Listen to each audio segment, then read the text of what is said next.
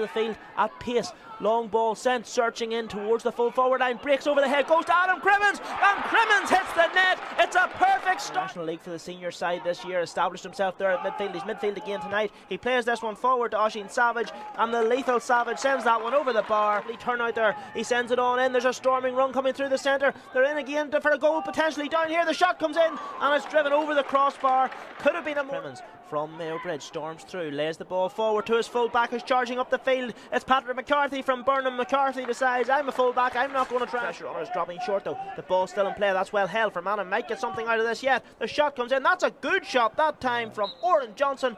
And management is, is, very impressive. Their ability there, they've, they've, broken another tackle again. And that man that broke the tackle is uh, Odhran Murdock, and he yeah. sends it up in the air. He sends it over the bar, and just when we're oh. that's up as far as Adam Crimmins. Crimmins' layoff goes out and sent up by Jack Murda, and that is sent over the bar. Well judged by the Ballyholland man. What port run comes? That's a nice run as well from Mihal Flanagan, a player we are informed with great potential. He sends this one with the left foot and he sends it up and over the bar for the first time this evening for Manor for Man midfield. One of those men is Paddy Clancy. Clancy storms forward, he crosses the 21, he goes to the 14, he fists the ball up and he fists the ball over the bar. All that took was a. Um, now that they're comfortably in front, it might be the time to give them a ch- oh, what an amazing point! That's Odhran Murdock, and that is, as Shane King described, an amazing point. It meant it was probably easier for him to get on the ball, but then you look at what Savage was doing. Oh, the ball spilled oh. in there. Jack Murdoch's slice shot was dropping into the hands